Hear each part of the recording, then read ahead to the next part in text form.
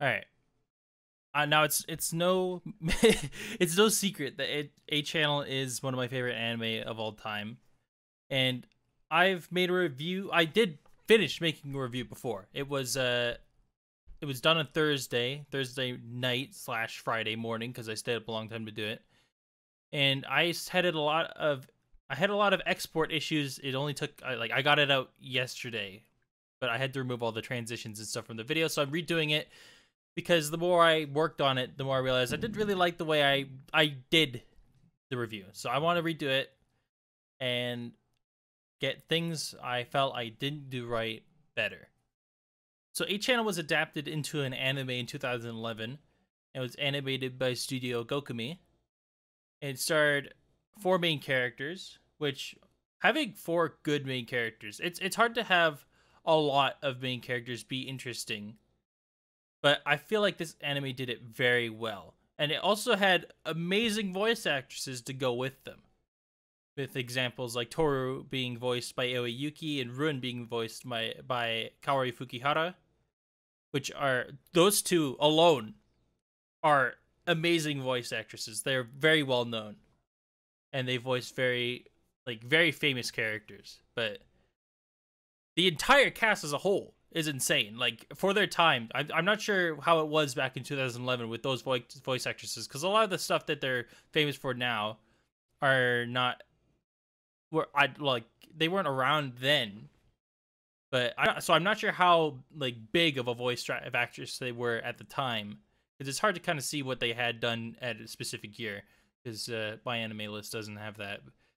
But actually, I could have found it on another, on another website, but it should be fine. But honestly, that's it was a hefty voice uh voice actress lineup, if if I say so myself.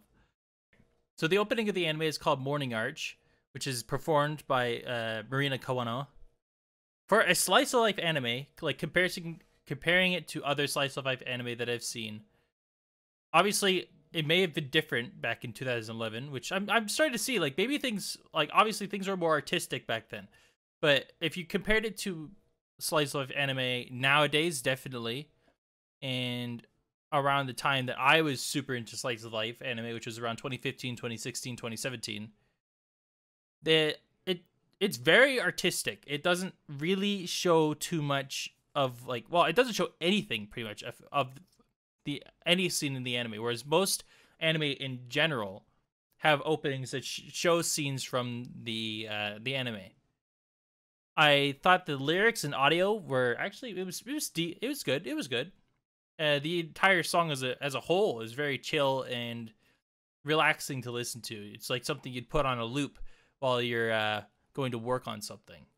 For instance, a script, but I didn't do that. I did do that though, however, with the ED, which is called Humming Girl. I said that wrong my first go, but which is performed not by uh, Marita uh, Kawano, but actually, but the main cast, which is the four main actresses. I enjoyed the sound of the ED more than Morning Arch, even though I think technically I think Morning Arch is a better song as a whole.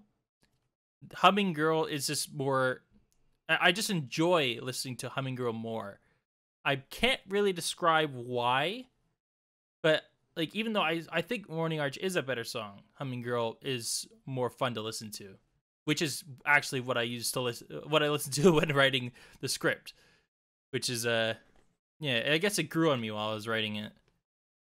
The main cast Toru, Run, Yuko, and Nagi are pretty good characters all around. There's nothing super special about them, which is kind of what I like about it. Is that uh, they're very down to earth characters. They do have like characters in the anime have their. They seem to all have a kind of trope in a way. Like I don't know if the, that's the correct word to use. Like Toru's the quiet, like the small, quiet, uh, like hardworking one who's a little insecure Run is the ditzy one who's clumsy and uh, you know, I guess it's a stereotype of the of the dumb blonde, but I don't think that's where they were going. Uh, Yuko is the you know, I guess Yuko is very simple. She like yeah, very simple, and has a simple with a uh, an accent. I guess I I love how the subtitles also kind of follow her accent. and Nagi is the kind of reserved, you know, almost nerdy type, even though she's not really a nerd. Like she, uh, like she has the appearance of like how you would depict a, a nerd in anime or in any kind of like media, but she's more. She's not really a nerd. She's very like self conscious about how like how her how she looks. I don't think she uh, and for once, I love how a character could be introduced while they're in a kind of group with other characters, like yes, Nagi does pay attention, a lot of attention to how Yuko looks because she's like she kind of does want to look like her, but she doesn't care about being popular while we're looking like her. And I feel like if she did have a body like Yuko, she would be extremely self-conscious. But then there's Yutaka, who's very hyperactive. There's Miho, who's very, as they also said with her nickname, the remote control. She's a control freak. In a, in a way, at least towards Yutaka, but she's also very uh very kind. Like the characters all have like their thing, even if they're weird, like Sachio's, but the interactions between the characters are really nice and they don't seem to conflict with each other too often. Even minor issues and problems and arguments don't seem to be of like like, they don't seem to cut deep or deep enough that you like it would threaten their friendship in any way. There's uh there's some strange things too, like Sachio's infatuation with foreheads and uh Toru's sexual harassment, I guess is what you could call it. It's almost sexual assault I guess you could call it that. But I guess it's it's in it's in humor, so that makes it okay. the jokes aside, uh the plot as a whole is of why I remade this entire review. The plot is like it's like the point is that there is no point. There is no plot. There's no plot. The and I think that's why I needed to redo it because I tried to look for a plot when there wasn't. It's like, oh well, what about Taro's? uh, like how she always felt like she was being she didn't want to be left alone. It's like, oh, she's a deeper character because no, no, she's not a deeper character because of that it's just an episodic feeling because of the situation she's in. It's not a plot. it is a reaction to just a reaction to a situation, which is normal in a slice of life anime to have that kind of reaction, whether or not there's a plot or not. A plot would be a kind of guiding force, unbeknownst to the characters, that takes them from point A to point B. Whereas this anime doesn't really have a point A or a point B. It's just life it's them reacting to the everyday day-to-day situations that they're in. You know, the good moments. 先生、これ終わりました。あ、いつもありがとうね。あの、ここの男子の人数が間違ってましたので修正しておきました。よかったですか？あら、本当？こっちのミスだったのね。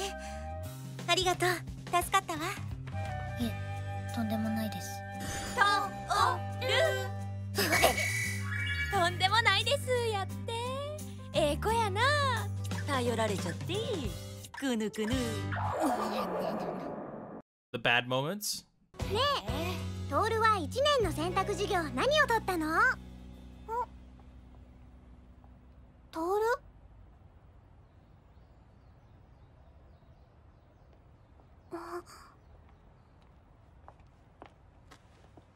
ルンちゃんと同じ授業受けたいな。ルンちゃんと。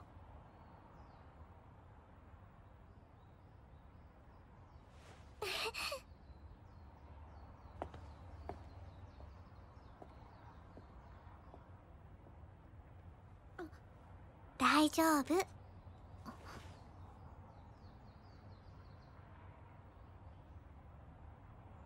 変わってないよ。私たち。And the funny moments too.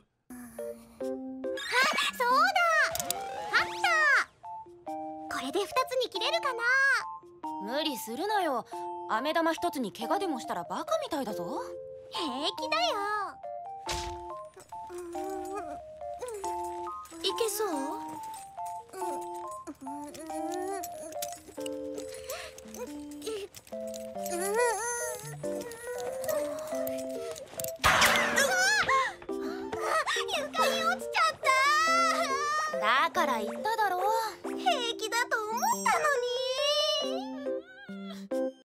Think that's why this anime is so good to me. I like why I enjoyed it so much is that it's a lot different. It's it's it's it's different in a way like for instance if I was to compare it like how I did before with Comic Girls, I th- which I was sorely mistaken to do so. Kaos Chan, she wants to uh she wants to have it, her manga serialized, which is a plot line. You can give her some backstory to that plot line, like how did she come up to be wanting to draw manga and stuff like that. You can give her a backstory, and then she like while she's attempting to complete this goal, uh, she has ups and downs. Whereas in this anime, there is no ultimate goal. There's no like there's no conflict. There's no big bad. There's no superpowers. There's like there's nothing like that, and I think that's why this anime is special to me, and I think to a lot of other people is because it's not special it kind of th- it, it takes the concept of a slice of life anime because a lot of slice of life anime kind of like try to be unique in their own way. And i think the fact that this anime tried to not be unique is what makes it unique. Is it removed all these like oh the high school high, the high school kid who wakes up and is a like you know there's aliens invade or this high like high school kid who you know meets this succubus or get gets caught up in some abnormal situation which leads into some shenanigans or or pilots a mech because it's the end of the world and whatever. Like those kind of situations i think that's you remove them and you just go i want a almost grassroots kind of anime where it's there's no ultimate conflict. They just it's it's like it's it's a difference between trying to swim against the current and then riding the current. This anime is an anime that rides the current. It lets the story tell itself, and the and I think that's why it's so good. Is because it's not trying to be anything other than four girls enjoying their lives and experiencing new things in their high school and and as as high school girls. It's basic it's simple, and that's it. Like that. That's it. And I think that's why it's so good. It's not trying to be too much. It's not trying to fit some weird supernatural thing into it. And I think honestly that's why I enjoyed it so much cuz I've had my my fair share of anime that are abnormal, are just weird or like kick-ass awesome. For instance, anime like One Punch Man or anime like Asobi Asobase or or Comic Girls. Like Comic Girls is a nice one. New game, abnormal situation. There's there's no men either, but it's also it's all very weird how a lot of the time in slice of life like slice of life anime with female mains, there's hardly any men or no men at all. But all right, that's that's that was the point I was trying to get across that I could not get across in my other one. I kind of just said I like the anime, but I can't justify the the reason why I like the anime. No, bullshit. I can justify it. I just need time to think about it. I just tried to bullshit my way through making a review without having any reason for liking the anime in, when it's my favorite. That's no. That's that's stupid. So that's why A channel, if I was to give it a rating, it'd probably be 8 or 9 out of 10. It's not the best anime out there. No way in the world is an anime like A channel going to be anywhere near as the best. I'm definitely also highballing it because I'm I'm biased as shit. Like if you could tell, Toru is my fucking profile picture. I didn't even mean to swear, but uh, like A channel, yeah, like no matter where A channel sits, even if A channel was one of the worst anime out there, it would still be put up at like at an eight or nine. Even if people hated it, I would still hold it high because it is an anime that I enjoyed. Obviously, people will disagree. It's like, oh, well, how could you have like it's not that entertaining? It's not even funny. It's like it's not trying to be funny. It's not trying to be entertaining. It's just them reacting to it, the stuff in their to day lives. If it's funny, then it's funny. If it's not, then it's not. That's that's it. Just like real life. And I think that's the point. All right. Thanks for watching. I'm feeling a lot better about this review, and I definitely over edited my last review. That's why I wouldn't export it all. But thanks for watching. Hopefully enjoyed. If you have any anime you want me to critique or or review. I guess review and critique are kind of the same thing, huh? But if you have any critiques about this review, I will also post the last review that I did, like the original review, just so you can see how bad it was. it doesn't have transitions. I think I said that already, but it's fine. And uh, I'll see you guys next one. Just leave a leave a comment on what anime you want me to review next, if you have any interesting ones. And uh, yeah, Toru's best girl. It's indisputable. Shut up.